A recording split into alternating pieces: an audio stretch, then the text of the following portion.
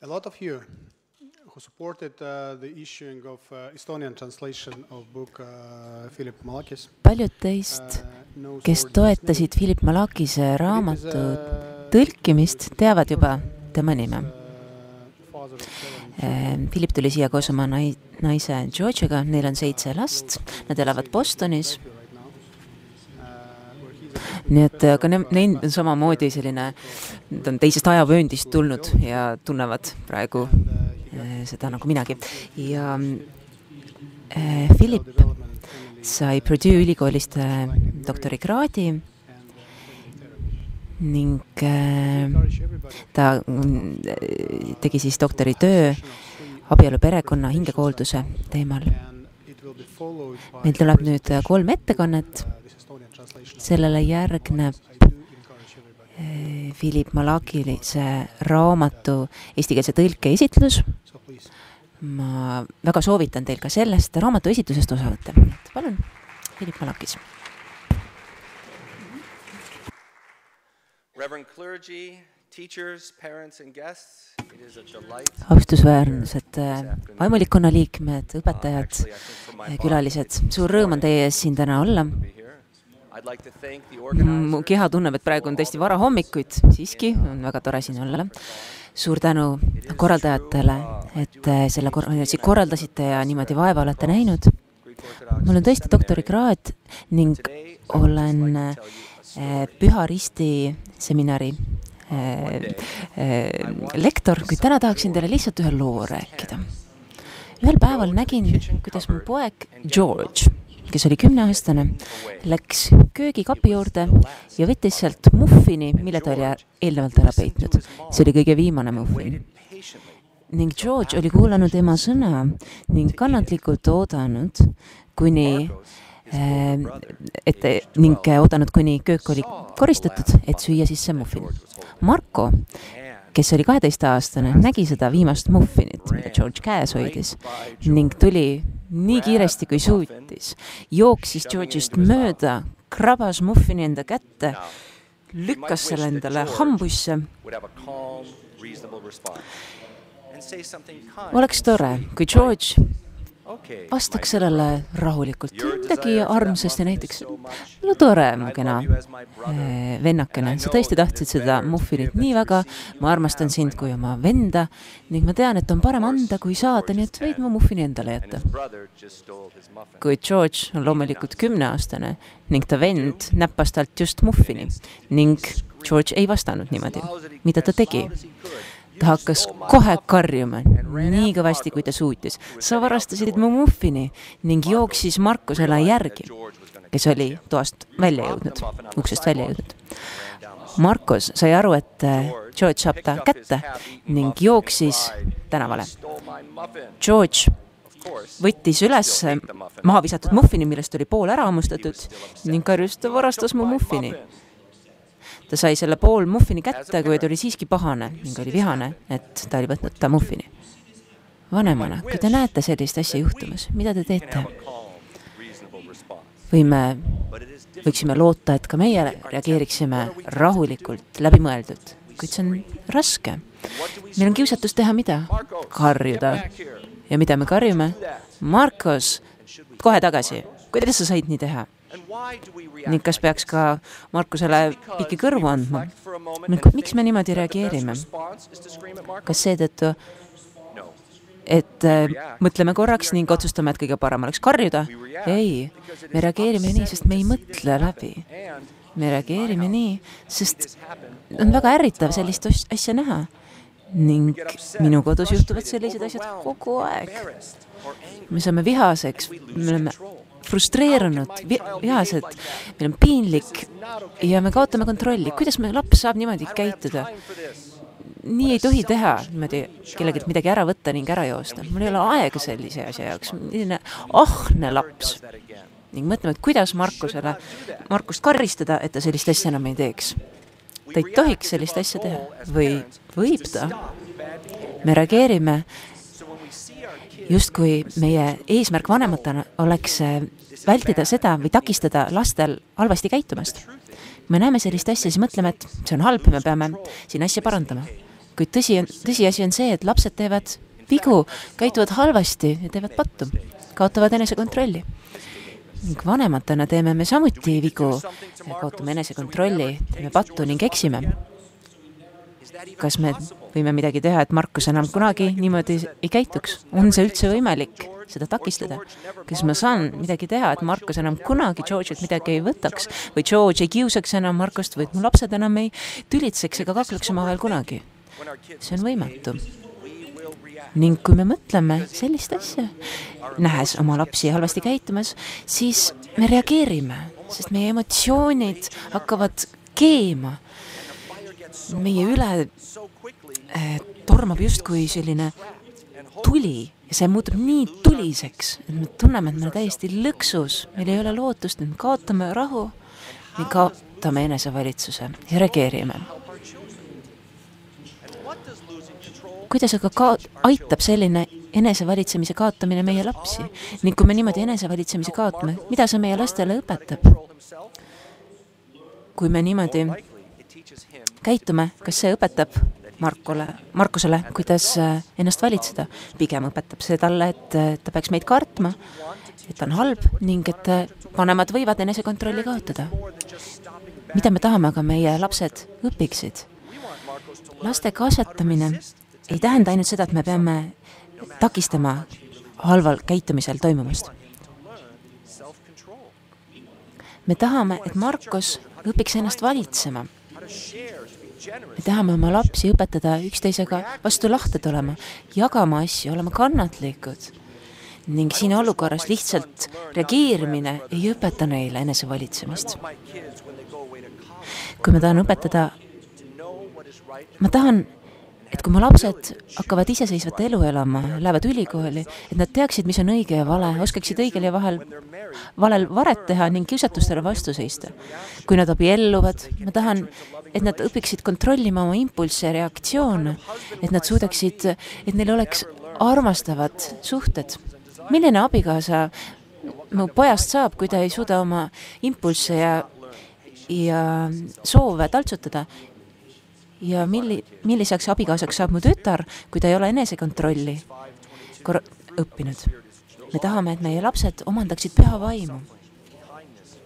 ning eh, vaimuvili on armastus, rõõm, rahu, pikk meel, lahkus, headus, ustavus, tasadus, enesevalitsus. millegi niisuguse vastu ei ole seadus.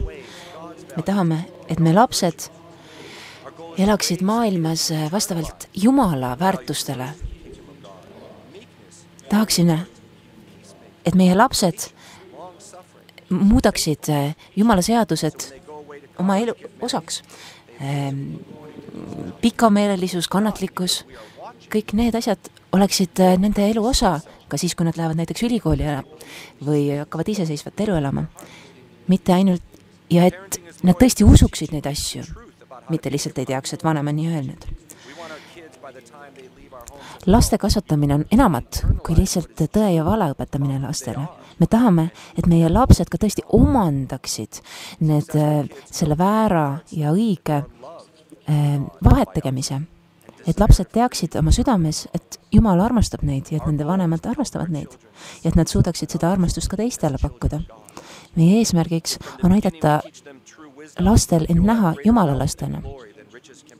kui me neile õpetame tõelist tarkust, siis on neil suurem rõkkus ja au, kui võib anda varandus, nagu on öelnud püha Johannes Kuldsuu. kuidas seda ka neile õpetada? kõige olulisem on vanemate, see, kuidas vanemad oma elu elavad kodus. vanemad peavad muutuma oma laste silmis pühakuteks.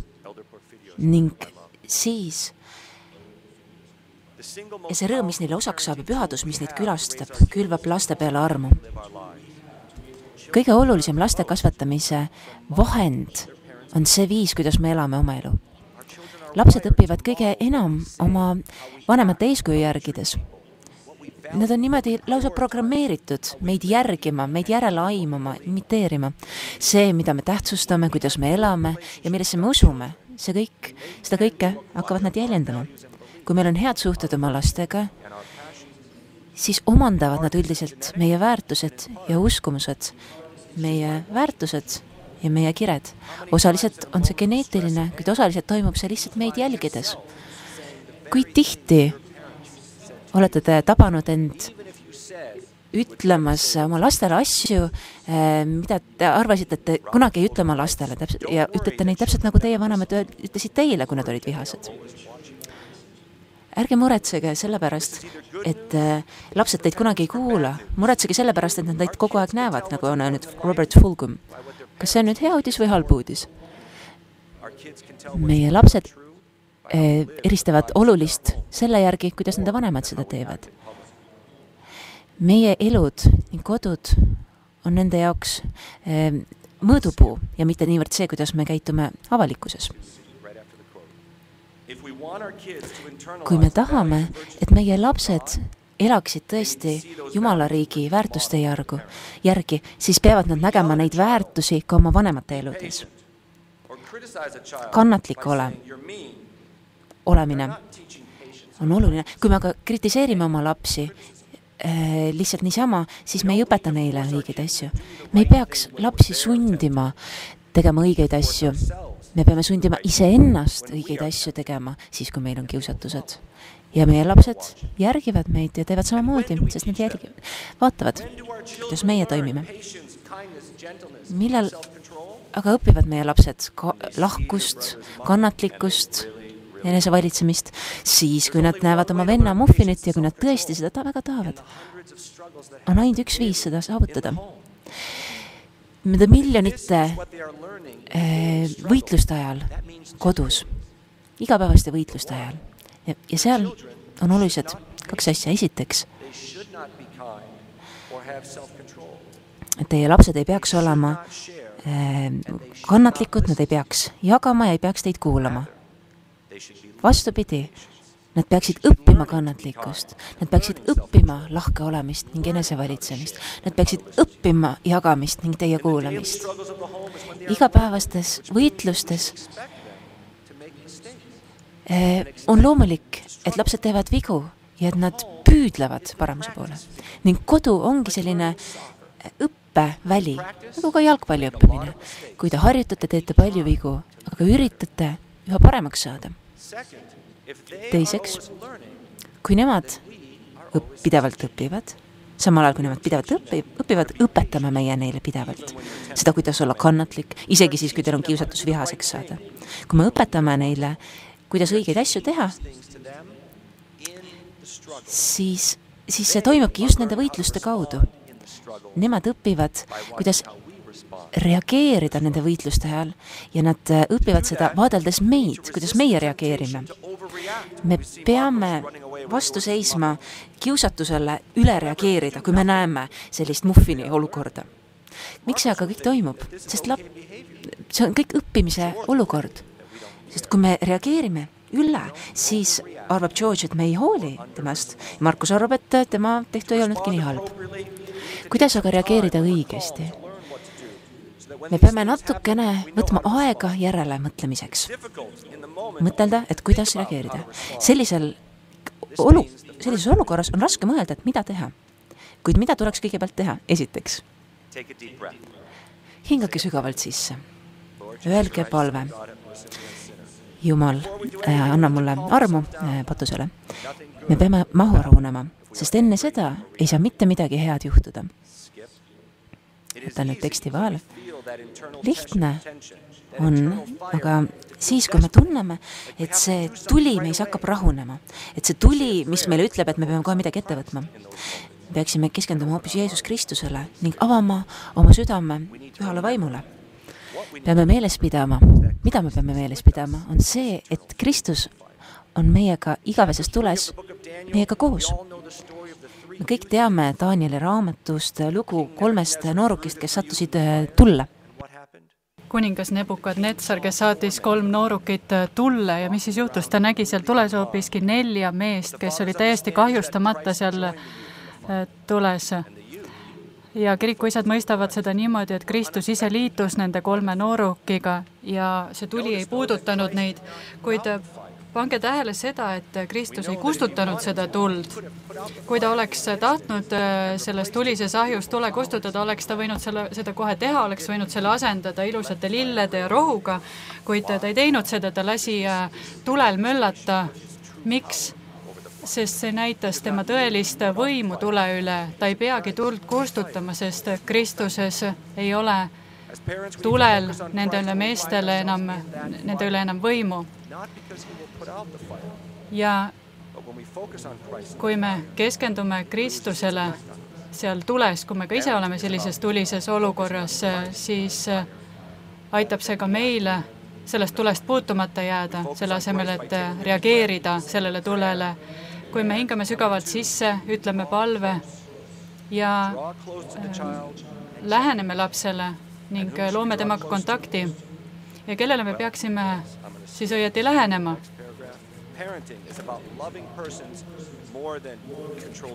ja vanemaks olemine on enese kasvatamine enam kui käitumise kontrollimine väga kerge on olla kõrvale juhitud äh, sellest äh, halvast käitumisest ja püüda seda kontrollida, kuid äh, lapsega läheduse otsimine ja tema kontakti loomine on oluline enne seda, kui me hakkame teda korrigeerima. Ja seetõttu ma läksin ligi George'ile, enne kui hakkasin temaga pahandama. Ja ta nutis endiselt, et Markus võttis mu muffini ära. Ei ole mingit mõtet lapsega niimoodi arutleda muidugi sellises olukorras, kuid oluline on olla tema lähedal. Nii et äh, selles raskuses peab laste ligi hoidma ja me ei taha püüda lahendada seda raskust ja seda võitlust need raskused ei ole probleem, mida lahendada, me ei saagi seda lahendada ja ka lapsed ei ole probleemiks. ja kolmandaks on oluline empaatiaga läheneda lapsele. küsisin ta käest, et kas sa oled pahane, et Markus su muffini endale haaras. no muidugi, see oli minu oma, ma tahtsin seda ise süüa ja kui te aga empaatiaga lähenete ja temas tunded sõnadesse pani, panete, siis äh, tihtipeale võib see seda tuld veelgi äh, õhutada. Äh, ta hakkas veelgi enam nutma, ütles, et see oli minu muffin, George, Markus ei oleks tohtinud seda võtta. Me võime George'i tundeid äh, toetada. me teame kõik, mis tunne see on, kui keegi meid ebaõiglaselt äh, koht-, kohtleb, me teame, kui äh, valuline see on, nii et me võime keskenduda tema tunnetele selles olukorras, see on armastuse avaldus, nii et me liitume tema võitluses temaga ja ta saab aru, et me hoolime temast ja et me mõistame teda. Just before the, the next paragraph nii et see minu sisemine tuli tegelikult äh, suureneb, kui ma George'ile lähenen, sest ma tunnen ennast võimetumana, sest ma ei saa kuidagi tema tuld kustutada. ja seetõttu meil ongi vaja lootust laste kasvatamisel, me teame, et see kõik on väga tuline, see olukord ja kuid me teame, et me pääseme sellest, et see kõik möödub ja me saame lootuse äh, kasvades läbi selle tule kõndida kahjustamata, nii et me peaksime lapse sisemaailmale keskenduma, mitte ainult käitumisele. meie eesmärgiks on saavutada püha vaim, mis aitab meil sisemiselt muutuda. me tahame olla tähelepanelikud ja tundlikud oma lapse hinge suhtes. õde Magdalen, õde Magdalena kirjutab, et lapse süda on püha maa, kus ta kohtab Jumalat ja neljandaks on oluline, et me lapse võitlusele nime annaksime, muidugi äh, teeb see meile haiget, kui keegi meie asju ära võtab või kui meid halvasti koheldakse. et äh, George'il, äh, George'i raskus seisneb selles, et ta elab maailmas, kus inimesi kohelda, koheldakse ebaõiglaselt, muidugi on raske seda kõike kogeda. muidugi George ise on süüdi selles, et ta Markost samuti ebaõiglaselt kohtleb tein-, teinekord võtab samuti tema asju ära. kuid äh, ta ei mõtle parasjagu nendes kategooriates, vaid ta mõtleb sellest, kuidas Markost praegu karistada. kuid kui ma tahaksin, et George kasvaks üles lahkeks ja lugupidavaks, siis äh, tema võitluse sõnastamine aitab tal näha sedasama ka teistes inimestes, kui ta kui tema halvasti käitub. see muidugi ei muuda olukorda paremaks ega aita George'il sellest äh, põletavast tulest välja tulla, see aitab tal näha elu ja armastuse teed ja näha seda äh, kasvamist, mis leiab aset äh, Kristuse järgimisel. muidugi on see raske võitlus ja ma tahan, et George mõistaks seda, et ta annaks andeks. Ja need sõnad, mida ma sellistel hetkedel kasutan, need aitavad George'il mõista eluteed. Viiendaks on oluline käitumisele piire seada. ma saan George'i valust aru, kuid see ei tähenda seda, et ma peaksin tema käitumisega nõustuma. George võib tunda, mida ta parasjagu tunneb, ta võib võidelda sellega, milline, milline on tema võitlus parasjagu, kuid samas ei ole tal õigust enda soovide ja tahtmiste järgi käituda. me peaksime olema pigem äh, tähelepanelikud laste tu-, tunnete osas, kuid äh, äh, samas olema ranged ka tema käitumise osas. Kuid samas me peame leidma tasakaalu selle ranguse ja pehmuse vahel. ma näitan oma käitumisega sellele, et ma olen, George'ile seda, et ma olen tema pool ja kui nüüd räägime Markosest, pärast seda, kui ma olin tegelenud George'iga, pean ma minema Markose juurde, mida ma siis teen? täpselt sedasama. ütlen palve, lähen tema ligi, loon temaga kontakti, küsin, mis toimub, Markus. ja ütlen seda rahulikult, sest kui ma teda vihaga ründan, siis ta arvatavasti äh, reageerib enesekaitse ja samuti vihaga ja seda ma ei soovi. ma soovin, et Markus näeks, mis ta on teinud, et ta tunnistaks, et ta on teinud vea et ta võtaks vastutuse selle eest ja käituks õigesti. ja sellepärast äh, ma lähen tema juurde ilma agressioonita, küsin tema käest, kas sa tõesti tahtsid seda muffinit. ta vaatas alla enda jalgade peale, ütles jah. kas oli raske ennast kontrollida, küsin ma tema käest. nii et Markost ei ole vaja rünnata või kritiseerida, sellepärast et ta kiusatusse sattus. ta peab tunnistama, mis juhtus ta peab õppima seda, kuidas ähm, Kristusele järgneda elusituatsioonides ja suhetes. ma ütlesin talle, et ta peab vabandama George'i ees. ta läks vaikselt tuppa tagasi. Kui ta oleks eitanud seda, et ta oli midagi valesti teinud, siis ma oleks, või tagasi, vastu pannud mulle, siis äh, ma oleksin teinud äh, samamoodi, oleksin äh, tema võitlusele nime andnud, kuid muidu oleks kõik olnud samamoodi ja oleksin võib-olla ka mingid piirid pidanud veel seadma. ta läks äh, majja tagasi ja vabandas äh, George'i ees. kui äh, Margus vabandust palus, siis George on endiselt kümneaastane ja ta käitus nagu kümneaastane. ma ei anna sulle andeks. vaatas mulle otsa ja ütles, et sina pead midagi ette võtma. ja mida siis mina tegin? mina tegin jälle need sammud läbi, hingasin sügavalt sisse, ütlesin palvendamisi, olin nende ligi, lähenesin empaatiaga ning kordasin üle, millised on meie ootused nende käitumise osas. ma tean, et sa oled vihane, aga siin majas me siiski anname andeks. tundub justkui nagu ma ei teinud mitte midagi. ma ei lahendanud seda probleemi ja see võib tunduda lootusetu, sest endiselt on neil tegemist oma sisevõitlusega ja see selline lootusetuse tunne tegelikult äh, panebki meid reageerima. George ütles, et sa kunagi ei võta midagi ette, sest ta arvas, et mina peaks selle kõik äh, ära siluma, selle olukorra. Markus ei saa justkui nagu karistustki selle eest. võib-olla ta saab ka korist-, karistuse, näiteks äh, peab George'i voodi ära tegema või mingi teise tema ülesande tema eest ära tegema. aga tegelikult on ju niimoodi, et George käitub tihti oma vendade vastu äh, samamoodi. et me räägime sellest, mis juhtub lastega nende sees siis, kui nad halvasti käituvad. see kogu olukord tegelikult kestis ainult mõned minutid. me ei äh, istunud maha, ei pidanud pikki vestlusi sel teemal, mul ei ole selleks aega ja sellised olukorrad tulevad ette pidevalt tegelikkuses on meil ainult äh, mõned minutid reageerimiseks või peaaegu üldse pole aega reageerimiseks kuid meil on endiselt olemas valik vanematena, kas me reageerime vihaga või siis äh, me hingame sügavalt sisse, ütleme palve, läheme lapsele ligi, äh, paneme tema tunded sõnadesse. ainult on mul, mõnikord on mul aega ainult äh, öelda väike palve, seada piirid. mul ei ole isegi aega majast välja kiirustades midagi ette võtta ja mulle võib tunduda, et ma ei ole mitte midagi saavutanud kuid hea uudis on see, et äh, sellised olukorrad tulevad ette pidevalt. meil on sadu selliseid äh, olukordi nende aastate jooksul, mis me oma lastega koos veedame ja kui nemad õpivad, nad võib-olla ei mäleta neid konkreetseid juhtumeid, mis esile tulid, kuid nad mäletavad seda, kuidas me reageerisime ja kas me reageerisime järjepidevalt iga kord.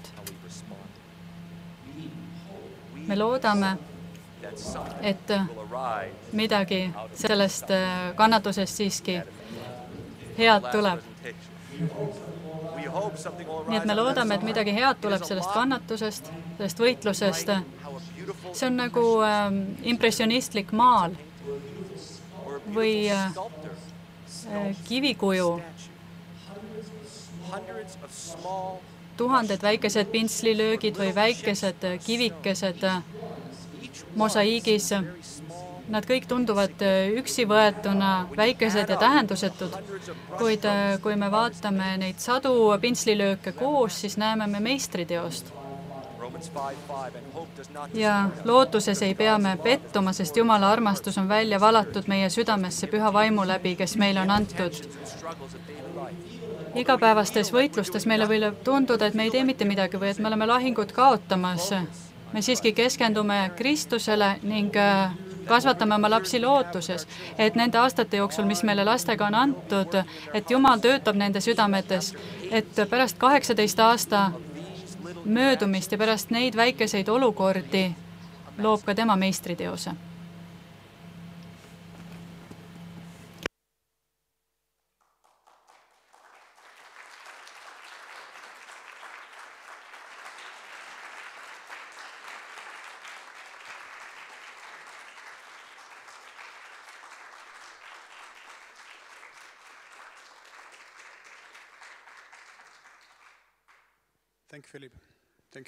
suur aitäh, Philip! tahaksin loota, et tuleb ka küsimusi. jah.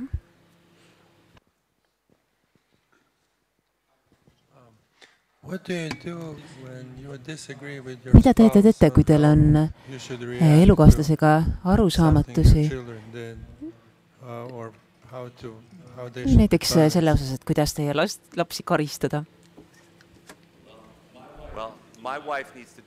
no minu naine peab tegema täpselt nii, nagu mina ütlen, aga tahate teada, mida teised inimesed peaksid tegema? kahte asja. lastel on väga hea, et neil ongi kaks erinevat lapsevanemat erinevate kasvatamismeetoditega ning ka abielule tuleb kasuks, kui teie kaks võtate rahulikult aega selleks, et mingi plaan koos välja töötada. meil on abielus selline pinge, justkui kaks peaks üheks saama. me ei saa oma abikaasat eemale lükata ega ka oma tahet peale suruda.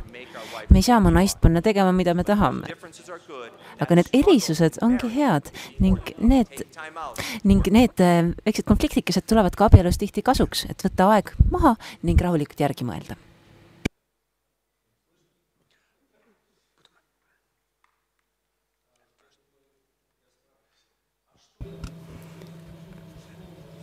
mida teha, kui sa tunned tühjust, kui sa ei saa õigesti reageerida, sa tead, aga sa ei suuda? Можно просить еще раз задать вопрос? Одну секундочку. Одну секундочку. kust tuleb praegu, kust tuleb praegu inglise tõlge, mis kanalist? I heard it, I heard a voice. English voice. I heard the end ah. of it.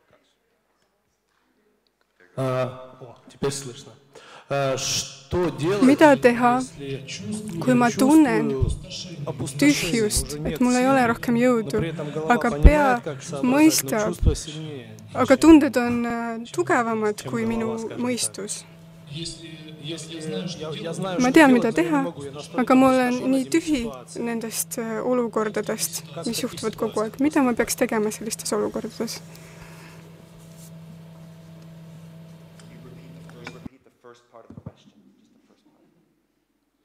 Может повторить первую часть вопроса? So, I will answer what the question is.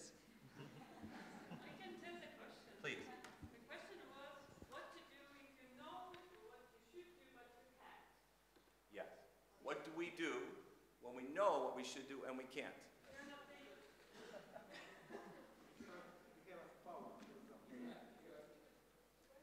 Number one is you admit that. Eh, mida siis tuleks teha? kõigepealt tuleb tunnistada seda.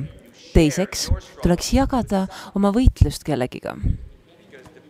sest olenevalt sellest, millesse te usute, püha vaimu kohta ja selle kohta, kuidas Jumal toimib, see võitlus on kutse kasvamisele ja armastamisele. What you would say is, I see 200 pounds and I can't lift näiteks te näete, et oh, siin on kakssada kilo raskust ja ma ei suuda seda üles tõsta, siis te- tuleb, tuleb eh, langetada seda raskust viiekümnele kilole näiteks ning jätkata harjutamist. esiteks, ühesõnaga raskuse korral tuleb võtta vastutust. teate, et ma peaksin, aga ma ei suuda. siis tuleks seda jagada. ma ei saa hakkama või ma ei taha. ka see on oluline küsimus. kui te saate kellegiga võitlust jagada, siis võite saada aru, et võib-olla on asi selles, et ma ei taha ja võib-olla on siin jällegi arenguhetk.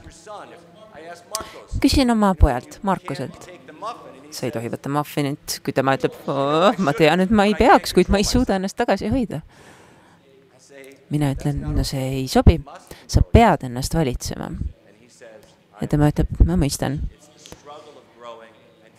see on siis selline võitlus, kus me üritame, kukume ja siis tõuseme taas jalule. Uh, sooviksin ka ühe küsimuse küsida. Teil on seitse last, eks ole? Me kõik teame, et on oluline perega koos aega veeta. ja kogu perekonnaga, mitte ainult äh, isa lastega, vaid ka emaga. kuid aga meil on kõigil palju toimetamist, tihti teeme ka nädalavahetuseti tööd. Et mis määral peaks kogu perekonnaga asju ette võtma, kui palju sellele tuleks aega äh, kulutada, et jõuda siis Jumala kuningriiki. Kui palju tuleks äh, trenni teha, kui palju tuleks toituda tervislikult, mida enam teil on hea perekondlik rütm, seda paremini teie lastel läheb. Neil ei ole vaja väga palju aega, kuid neil on vaja regulaarsust. ma üritan näiteks igal õhtul nendega koos õhtust süüa. vaja on teatavat rutiini. Kui nad aga vanemaks saavad, kui nad ei ole nii väiksed, siis võib-olla söön nendega õhtust ehk kord nädalas. mida rohkem oma lastele tähelepanu pöörata, seda paremini neil läheb, kuid siin on veel midagi olulist. kui me oleme temaga koos, siis me teeme erinevaid asju, mina töötan, nemad koristavad midagi. oluline on ka isana ning mehena olla tõesti kohal. kui ma olen kodus, siis ollagi kodus. Nad ei vaja kogu mu aega, kuid nad, neil on vaja, et ma oleksin kodus olles tõesti kohal. ning mida enam me oleme reaalselt kohal, seda parem. mida rohkem nendega aega saame veeta, seda parem.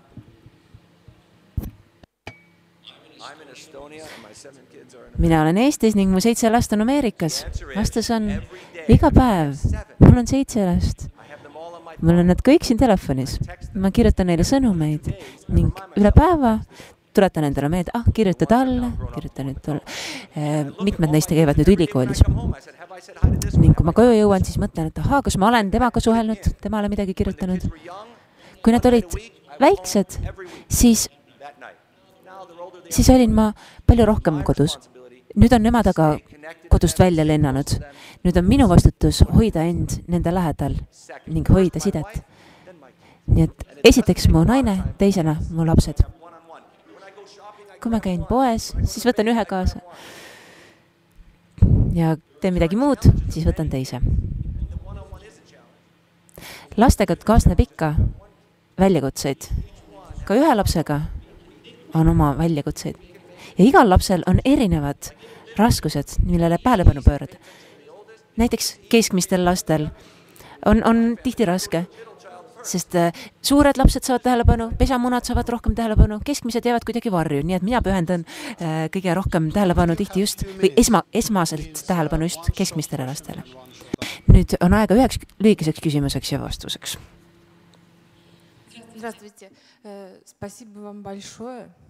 Э, tere, suur aitäh teile. suur aitäh teie kõne eest. minu jaoks on väga lähedane see, millest te räägite. mul on küsimus.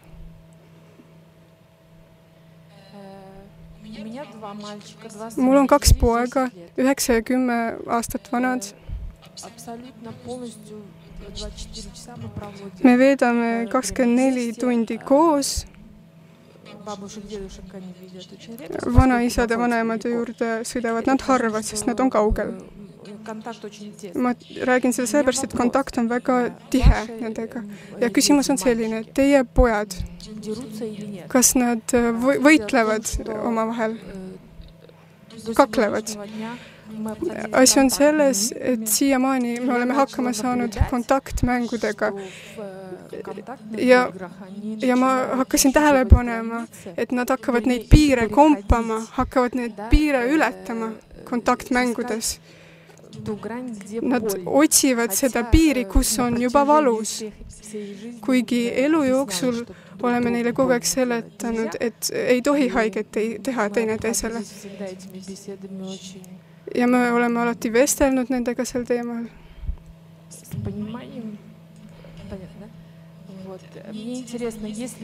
mind huvitab, kas teie э, lapsed kaklevad э, omavahel või kas nende vahel on kontaktmängud э, ka?